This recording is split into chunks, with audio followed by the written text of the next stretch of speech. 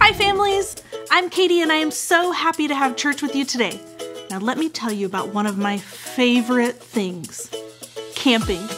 So, when you go out into nature and you sleep in a tent and you hike and fish and you make s'mores and, well, you know what I mean.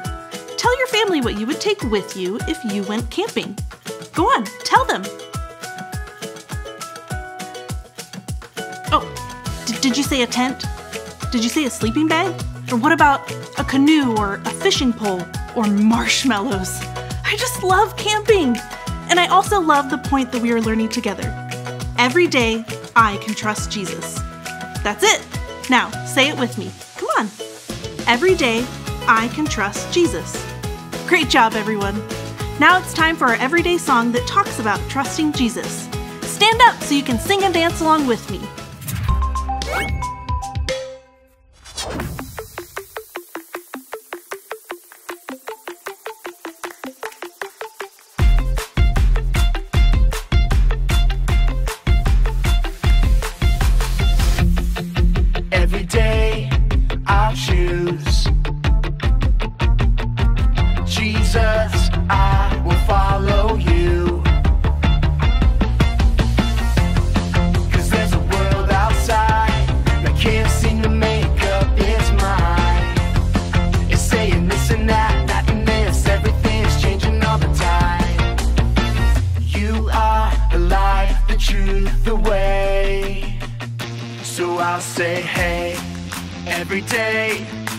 Choose. Jesus, I will follow you. Let everything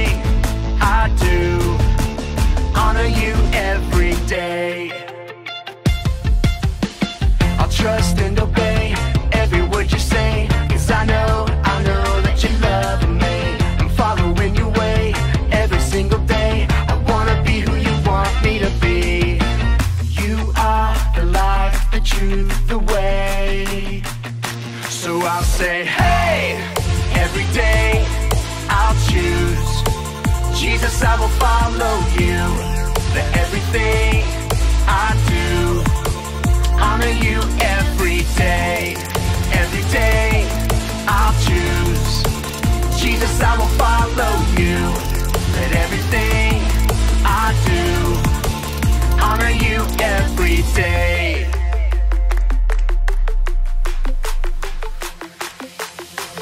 Every day I can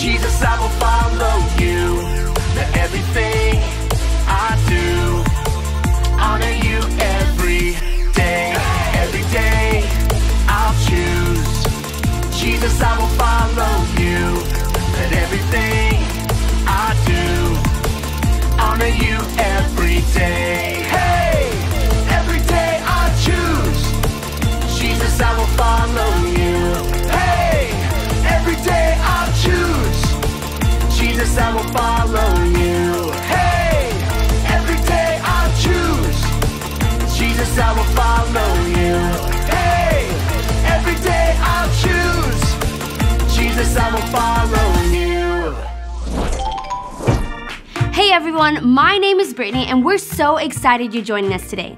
Today we're talking about the story of Naboth's vineyard. A wicked king named Ahab wanted something that wasn't his.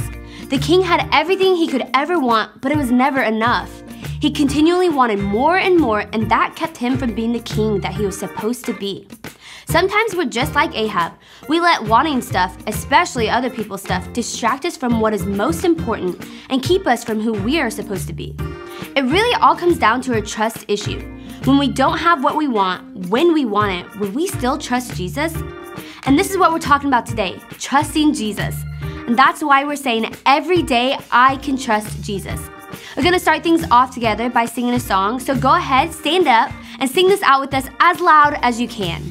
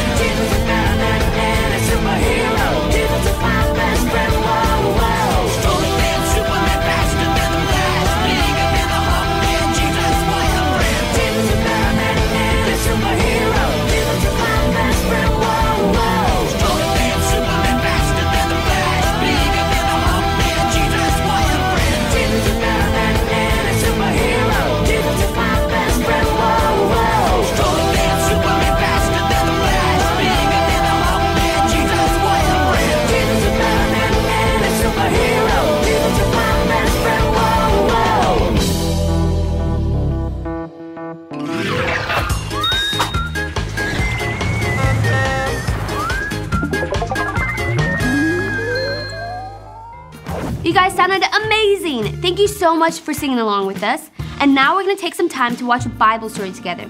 And like I said earlier, today's story is about Naboth's vineyard, so let's check it out. It's time for a Bible story. This story is about a guy named Naboth. Oh, bless you. What? No, I, I didn't sneeze. I said Naboth. Uh, allergies getting you, huh? You need a Kleenex, bud? No, I'm not sneezing. I'm saying his name, Naboth. Oh, gotcha. Continue. Naboth lived a long time ago in the land of Israel. He was a godly man that lived a nice, quiet life on some land. Aw, he seems nice. I like this little enablers guy. You mean Naboth? Yeah, that's what I said. Mayberf. I think you're saying it wrong. His name was Naboth. Ah, bless you. Ah, never mind. Naboth lived on a piece of land that was right by the king's palace. Nice. That's a pretty sweet setup. Good location, property value going through the roof. He's living the dream. Well, there is a catch. The king that lived in the palace was named Ahab, and he was not a great dude. And the queen wasn't any better. Her name was Jezebel. Together, they were a pretty dastardly duo. Uh oh, I got a bad feeling about this. Okay, so what's the deal? They were just like bad neighbors or something? Always playing loud music, leaving their trash all over the place? Not quite. You see, Naboth had a bit of a green thumb. Oh, what? Ah, gross. What's wrong with his hand? That's nasty. No, no, no. Uh, that's just a phrase that means he was a gardener, that he liked working with plants, not like he actually had a green thumb. Oh, okay, good. Because that'd be weird. Naboth had a beautiful vineyard on his land. It was full of lush plants, and Naboth worked really hard to make it very fruitful. His vineyard was so beautiful that it caught the eye of someone very powerful. Let me guess. The Hulk. What? No. Uh, Superman? Wrong again. Dwayne The Rock Johnson. No, it was King Ahab. He saw Naboth's vineyard from his palace and wanted to have it for himself. So, he asked Naboth if he could buy it. But Naboth said no. Huh, how come? That land was given to Naboth as an inheritance, and God told him never to sell it. So, he thanked the king and declined his offer. Okay, no big deal. Just gave him the old, it's not for sale. Well, it shouldn't have been a big deal, but it was to King Ahab. He was furious that Naboth didn't give him what he wanted, so he went away pouting and all upset. Wait, like he threw a fit? Like a little baby? Pretty much, yeah. Man, that guy's got a screw loose or something. L- let me get this straight. He's a king. Yep. And he lives in a totally awesome palace, mm-hmm. but he's throwing a temper tantrum because he didn't get something? Oh, that sounds like little King Baby needs a whittle nappy time. You're not wrong. And when Queen Jezebel heard that Naboth wouldn't sell his vineyard to the king, she got super mad too. Seriously? What a couple lame-o babies. Totally. But it gets even worse. Queen Jezebel was so angry about it that she did something really awful. She had Naboth killed so her and King Ahab could steal the vineyard for themselves. No, Naboth, oh, are you for real? Unfortunately, yes. King Ahab and Queen Jezebel let their jealousy consume them, and it eventually led to their own destruction. God had such better plans for them, but because they let their hearts be hardened and gave in to sin, it caused their entire family to be wiped out. Man, that is crazy. Okay, do me a favor. Remind me if I ever see a vineyard that I really like, but I can't have it, like not to get super jealous and like kill the people that have it to steal it from them, because that is not going to end well for me at all. Um, sure thing. Uh, if that ever happens for some weird reason, I'll totally remind you. Thanks, man. You're the best. The end. King Ahab wanted Naboth's vineyard so badly that when Naboth wouldn't give it to him, he started pouting like a little baby. He even refused to eat. Our friend Pastor Andrew is going to be talking to us a little bit more about our story right now, so let's check it out. Now, let's say that I'm going out on a mission. I'm going on a big journey. There would be a few things that I would want to make sure that I take along with me. Like if I was going on a camping trip, I would want to be sure to have the right supplies. A travel backpack, a sleeping bag, a water canteen to fill up on the go, a hiking stick. Okay, so I've got my stuff, got what I need for this journey, but I've got to be careful to not add extra supplies.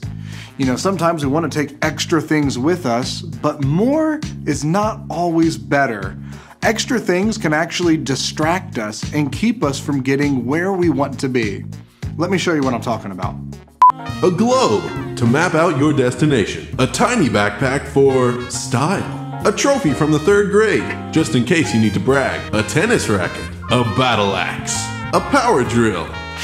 A makeshift helmet to protect against bears. Okay, now this is getting ridiculous. The letter H. Uh, a chair. Okay, guys, I think we're done now.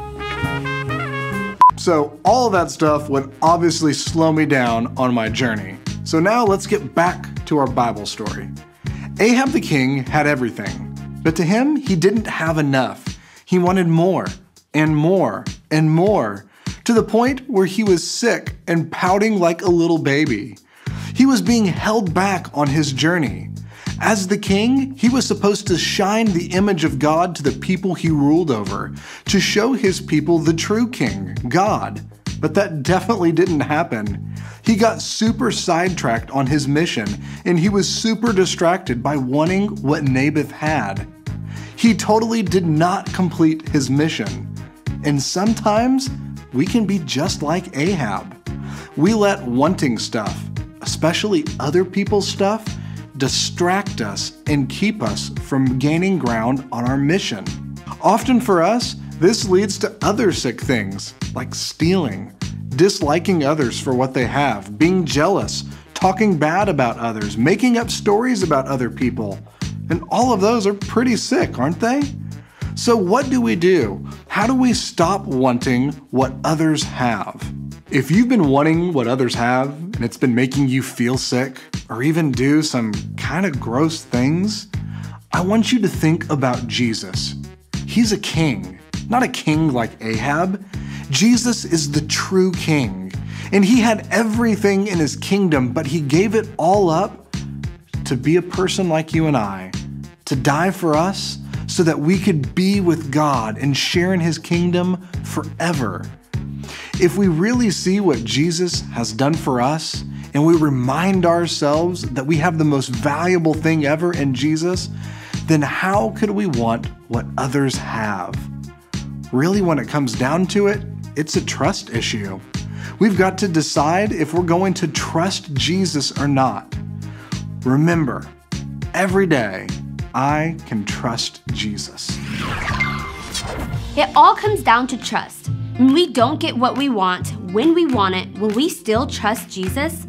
Or will we be like King Ahab and get so focused on other people's stuff that it makes us sick? What kind of stuff makes you act a little like King Ahab? Is it your friends' games, their clothes, their toys, their shoes, their house? Or is it something else entirely? Remember what Pastor Andrew said if we really see what we have in Jesus and remind ourselves that we have the most valuable thing ever, how could we want what others have? We already have everything in Jesus. And every day we can trust Jesus. So that's it for this week. Thank you so much for joining us, and we'll see you next time. Hang on! I've got a Bible verse to share with you. I'll go first. John 3:16. God loved the world mwah, so much that he gave his one and only son. Now I'll say a little bit at a time and you repeat after me. Are you ready? Okay, let's do it. John 3:16. God loved the world. Mwah! So much that he gave his one and only son.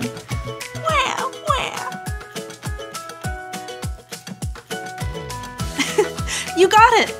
That Bible verse reminds me God gave us Jesus, his only son. That's the best gift that we can ever get. Nothing else we want is as good as that. Every day, we can trust Jesus. Now, I'm going to leave you with some questions to talk about with your family. Pause the video when you see them, and you can have a nice little chat. I had a great time having church with you. See you later.